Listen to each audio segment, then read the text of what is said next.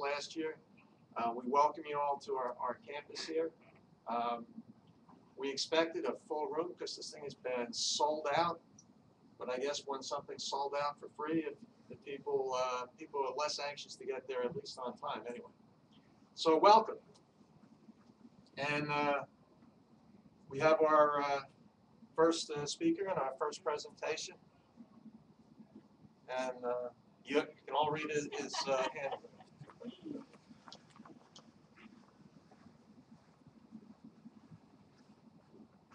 morning, everybody.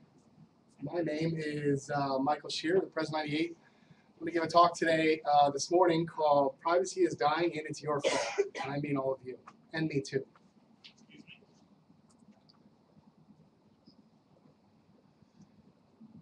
This is me. Uh, I run my own business called Leverage Consulting and Associates. I spent almost nine years in the United States Navy doing uh, electronic countermeasures uh, in the air and then on the ground with the Army. Um, founding member of the Church of Wi-Fi and Unall- Unallocated Space, father of four, and the husband of my wife. Sometime during the next hour, she's going to call because every time I give a presentation, she calls during the presentation. Two years in a row at DEF CON, speaking in front of a thousand people, my wife decides to call during the presentation. So I have my phone right here. I'm waiting for it because it will happen. Not planned, it will just happen. I started a blog called The Assault on Privacy, which is a, a blog about um, talking about government intrusions into privacy rights.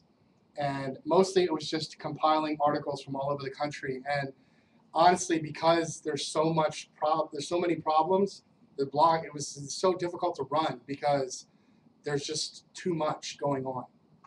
So what I did is the blog's still there, but there's I don't really instead of just pointing to the articles, I just post them everything on the Twitter account. So there's a Twitter account it's called AOP blog, um, and you can follow that. And I post the same articles. I just instead of posting them on a blog, I post them on a Twitter account. Been doing this for about a year and a half now. So I told you who I am, and but most people don't tell you. So people tell you who they are, and then that's supposed to be like why you should listen to that person because they're an expert or whatever. I also like to put this slide on, and this is why you shouldn't. This is why you should be skeptical of what I have to say. I'm going to talk a lot about constitutional rights, uh, Fourth Amendment. Okay, why you should be skeptical? Well, first of all, I'm not a lawyer. I didn't go to law school. Maybe that's a good thing. Um, anybody's presentation, like mine, is going to be biased by their own beliefs. So everything that I built here today is based upon my beliefs. Now, I'm not trying to persuade you one way or the other to believe something, but that's just the way it is. My education, my background, that's how I grew up. So unintentionally, intentionally, that's the way my presentation is going to be. It's not a political presentation, I'm talking a lot about politics today, political issues. I'm going to actually talk about a little bit about elections today. I'm not talking about specific political issues, abortion, death penalty, whatever. I'm not talking about that. I'm talking about politics in terms of elections and information and things like that. But of course, the things I talk about will be influenced by political issues. It's unavoidable. The bottom line of why you should be skeptical, don't take my word for it. Uh, at the end of this presentation, there's a source slide that has all the sources of all the articles and everything else that I used to put this presentation together. If you think something I said is BS, go read the article and you know come to your own conclusion. Okay, so um, privacy is dying and it's your fault. At DEF CON, I spent 10 minutes going through uh, a thousand years of history of, of, of the history of privacy. 10 year, a thousand years in 10 minutes. And I'm not even going to do that here because I don't have time because this is, I, I made this presentation into something else. So we're going to talk about today is the right to privacy. What is it? Where does it come from? So I have two slot, two history slides for you. Like I said at DEF CON, I actually talked about all this stuff. I'm not even going to talk about it today because there's just no time for it. But everything goes back to um, the Magna Carta and before even the Divine Right of Kings. There's a whole bunch of different cases. Uh, the English Bill of Rights, different cases in England and in the colonies. Um, and again, all this, all, all, these slides will be available so you can see all this stuff. uh, Virginia Declaration of Rights, state constitutions, constitutional conventions of the states, constitution ratifying conventions, the Bill of Rights, all the way up to the 14th Amendment. All these things have some impact on what we call today the right to privacy. Now, of course, you look in the Constitution, your Bill of Rights, where's the right to privacy? Well, it's not there. So that's why, you know, we go into all this stuff. So there's my history lesson for you. We've covered a thousand years of history. And there's three concepts that I want to bring out to you when we talk about privacy, um, which ultimately gets mostly put into the Fourth Amendment. The, the three historical concepts are reasonableness. In other words, for the government to intrude into your privacy, it has to be a reasonable intrusion. But what does that mean? Don't know what it means. Reasonable is said to be perhaps the most litigated word in the in the in the English language because what's reasonable? Well, I don't know what's reasonable, and that's what we're going to talk about today. The second key historical concept is the idea of warrants, and the idea is um, if you want to invade someone's privacy, you have to get a warrant. Prior to uh, the establishment of the Bill of Rights, there was something called general warrants. Took place in the colonies and in England. A general warrant was the king basically said, I don't like this guy because he's writing publications that I don't like. Um, here's an open-ended warrant. Anytime you see this guy, feel free to, you know, shake shake him down, go through his things. Anything you find that's not, you know, kosher, lock him up or whatever. It was a general warrant. It wasn't it wasn't specific to a time or a place or anything. And as long as the king was alive, the, the warrant existed. So that gets into our third key historical concept, which is the idea of particularity. And that is, as you read the Fourth Amendment, we'll see later, that a warrant has to specify what the, what the police are looking for. We're looking for these items related to this crime. Um, we, the warrant has to be served at a certain time. You can't kick down the door without saying, hey, police, we're here to serve a search warrant, whatever, that sort of thing. So the, all, all three of these um, are the three historical concepts that get built into the Fourth Amendment. The one that we're going to talk about today the most is reasonableness. So, part two, reasonable expectation of privacy. This phrase right here will define every Fourth Amendment case that you ever read about. And we'll talk about one that was uh, argued just this week, perhaps the most important Fourth Amendment case in at least a decade. There was another case that was just decided yesterday. Some of you may have been following the Twitter WikiLeaks case involving Jake Appelbaum and a whole bunch of other people. Um, uh, a grand jury in Virginia uh, asked for a certain Twitter account information related to Jake Appelbaum and a few other people. Um, and we'll talk about that case because that's, again, involves reasonable expectation of privacy or lack thereof. So here's the text of the Fourth Amendment. And I highlighted the, or I bolded the things that I said were the three historical concepts. So the right of the people to be secure in their persons, houses, papers, and effects against unreasonable searches and seizures. So there's our unreasonable requirement. Shall not be violated. No warrant shall issue but upon probable cause, supported by oath or affirmation, and particular and particularly there's our particularity requirement, describing the place to be searched and the persons or things to be seized. So we have our unreasonable or reasonable test, we have our warrants, and we have the particularity requirement. But read it, think, think about what else this says. We're secure against unreasonable searches and seizures. What does that mean? That also means that it is possible that there could be searches that are reasonable and therefore don't apply here. So not every search or not every intrusion into your privacy requires a warrant. That's where that's a very important distinction to be made here. So the, de the determination between reasonable and unreasonable is going to determine whether or not a warrant is required.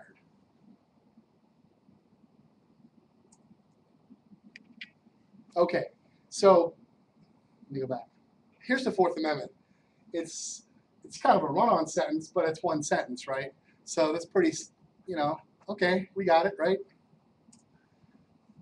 This is page one of three of a law school um, diagram on understanding the Fourth Amendment. Yeah, I can't even read it from here. I know you can't read it from there. This is all about the Fourth Amendment and the different exceptions and what applies and all sorts of things. Uh, let's see. dealing with arrests, searches, and seizures. Uh, if you have a valid search warrant, what if the search warrant is not valid, but what if they thought it was valid?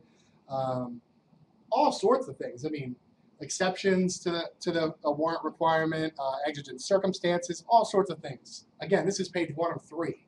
Uh, it's not even required to show the other three. But okay, so we take this, and there's a lot of stuff that is extraneous here that doesn't apply most of the time. There's just very few chances that it'll apply, and we dumb it down into this, which is a little bit more understandable. So this is this is about as simple as you can make the Fourth Amendment in terms of a, a diagram. So we start up in the top.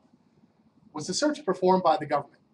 Okay, this is very important because the Fourth Amendment talks about search your right to privacy from searches, but it's from the government. So if your neighbor kicks down your door, your Fourth Amendment hasn't been violated by your neighbor because your neighbor's not the, unless your neighbor's a cop or something like that. But your neighbor's not the government. So the search actually been performed by the government. So that could be local police, federal, state, whatever. But it has to be the government. Do you have a reasonable expectation of privacy? There's different circumstances here. We'll talk about that. And this is what we're going to talk about the most today. For example, when you're outside versus when you're inside, you're in a car uh, versus in your house, uh, whether you have items in a backpack versus you're just holding them, that sort of thing. When we get into digital information, content, content data versus non-content data, was there a warrant? No or yes. There's exceptions to warrants. You see all up there. Again, I'm not going to go through this whole thing because we're not going to talk mostly about all of that. We're going to talk about here a reasonable expectation of privacy. So the key questions on, from the previous slide onto this slide. Was the action performed by the government? Was there a warrant? Was the warrant proper? The key question for us today is, is there a reasonable expectation of privacy? Okay. A government intrusion into your privacy only constitutes a search when there's a reasonable expectation of privacy. Otherwise, it's not a search, even if you're being searched. I know that doesn't make sense, but the Fourth Amendment doesn't apply. So let, us give an example. Um, you are um, a suspect in a, a, a, whatever sort of investigation. They don't know anything about you other than that we, we, we suspect you might be doing something. And there's a cop sitting outside your house, and every time you come out, they just mark down um, left the house at this time and uh, drove to Walmart, whatever. Now, is that a search? Probably not. Why? Because once you step outside your house in the public, you don't really have a reasonable expectation of privacy, right? You can't assume that people can't watch you when you're outside. So even though your sort of privacy is maybe being violated a little bit, it's an acceptable intrusion because you don't have a reasonable expectation of privacy in public. In this case, the Fourth Amendment doesn't apply.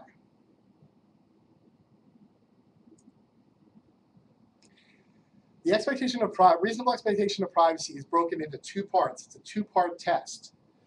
The first is an actual expectation of privacy. So that is, for example, I'll use this example later.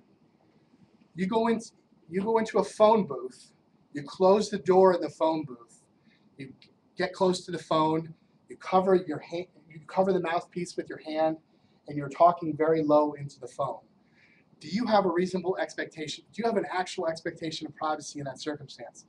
So the first is how it applies to you. Well, clearly, you close the door in the phone booth, you're talking low, you have an expectation, an actual expectation of privacy. The second part of that test is does society as a whole view your expectation as reasonable? So, for all of you, if someone walks into a phone booth and closes the door and sort of puts their hand over and talks very slowly, do you presume that that person has a reasonable expectation of privacy in their conversation? Most people will say yes. So, in this test, one, we had an actual expectation of privacy, and two, society believes that expectation to be reasonable. Therefore, that person has an expectation of privacy. If you want to violate their privacy, you require a warrant. This is a two-part test, and it's also a test that requires both variables to be true. If either one of these variables is not true, the test fails.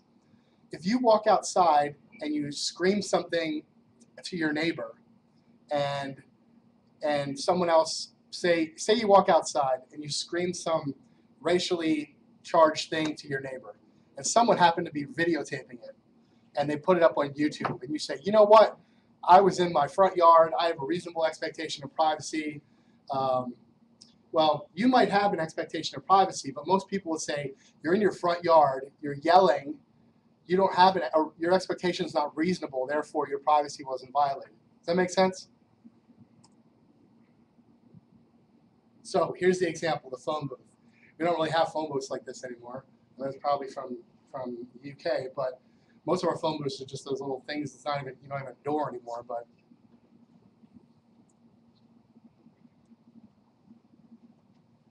what about in a park? You're walking around having a conversation with someone in a park. Do you have a reasonable expectation of privacy in that conversation? Probably not.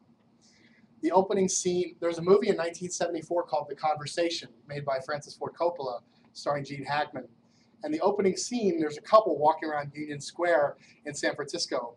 And Gene, and unbeknownst to the couple, Gene Hackman and his team are recording the conversation from different areas.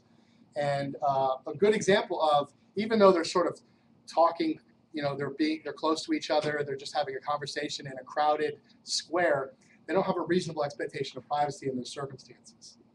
What about inside your home? Uh, the home is is perhaps the, the strongest expectation of privacy. When you're in your home, you know, there's a, a warrants required for that to be violated. What about when you go through the naked scanner at the airport?